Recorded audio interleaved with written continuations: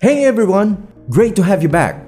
As you are undoubtedly aware, eliminating carbon footprints and substituting renewable energy sources for fossil fuels is a target for the entire world. However, there are several issues that must be considered, and one of the most important is energy storage.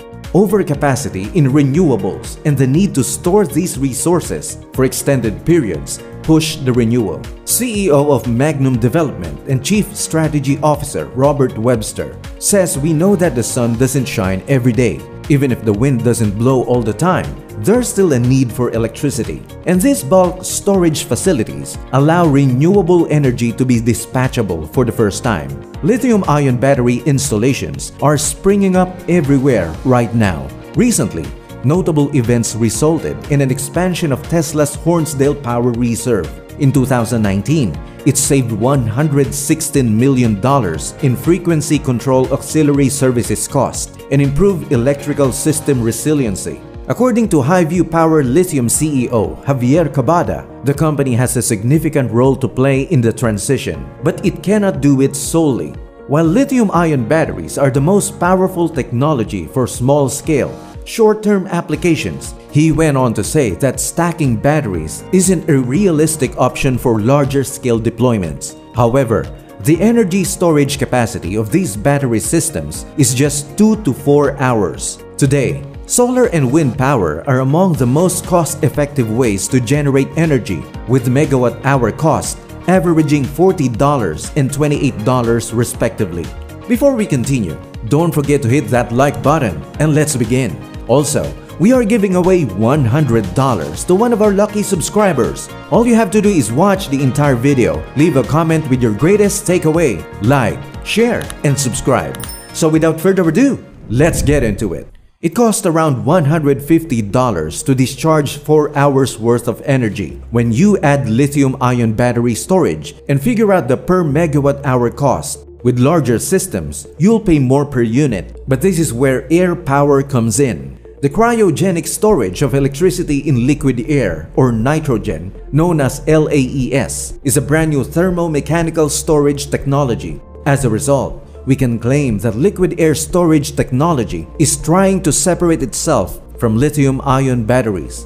As far back as the 1940s and 1950s, oil and gas engineering techniques provided liquid air energy. Thus, it isn't new. How does it work? This procedure is straightforward. The three sub-processes are charging, storing, and discharging. The technique reduces the volume of ambient air by 700 times after purifying, drying, and cooling it to a negative 196 degrees Celsius. To put it another way, 1 liter of liquid air was converted into 1 liter of near-atmospheric pressure tanks. The Cloud cycle, so named for its discoverer George Cloud, existed for more than a century. What potential does this technology have? System stability and adaptability are enhanced by the use of LAES. Operators may store long-term energy at a low cost with LAES. Hundreds of megawatts of long-term energy storage may be produced using these installations and to maximize system efficiency, plants should be able to use industrial waste heat or cold.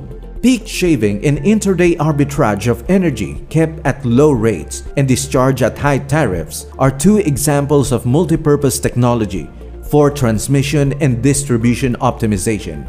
This technique uses insulated tanks to compress, liquefy, and store air. Air is heated and evaporated to produce electricity.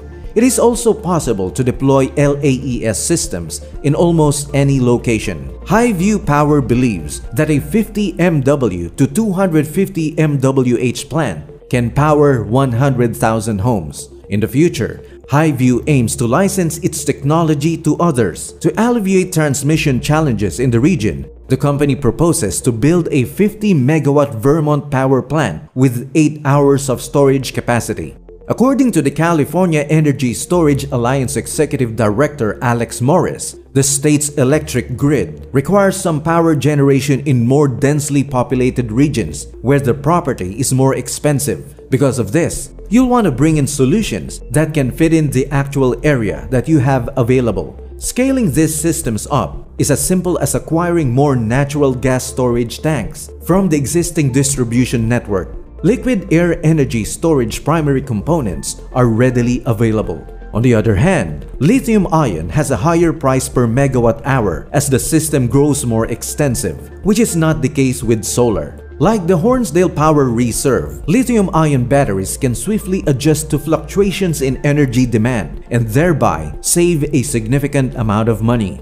Cryogenic energy storage is an excellent idea. Cryogenic air may be used to store energy for up to 4, 6, or even a whole day. For large-scale installation of many megawatt hours, a compact footprint and excellent energy density are the primary advantages of this technology. During the ESA annual conference and exhibition in August 2021, Salvatore Minopoli, Vice President of Highview Power said that the best skill set for a project is anything above 25 megawatts and lasting more than 4 hours. As the executive director of the California Energy Storage Alliance, Alex Morris believes that these features may make liquid air practicable in metropolitan settings, especially when it comes to energy storage. What challenges will this face? Getting a handle on a facility's operating costs, including preventive maintenance and prospective plant overhauls, is the most challenging component of dealing with liquid air. It's difficult to precisely calculate expenditures because there aren't a lot of analogies to other technologies. Additionally, LAES has a decreased cycle efficiency towards the end of the cycle, which is a drawback. Liquefied natural gas facilities can be integrated and co-located with LAES to increase cycle efficiency.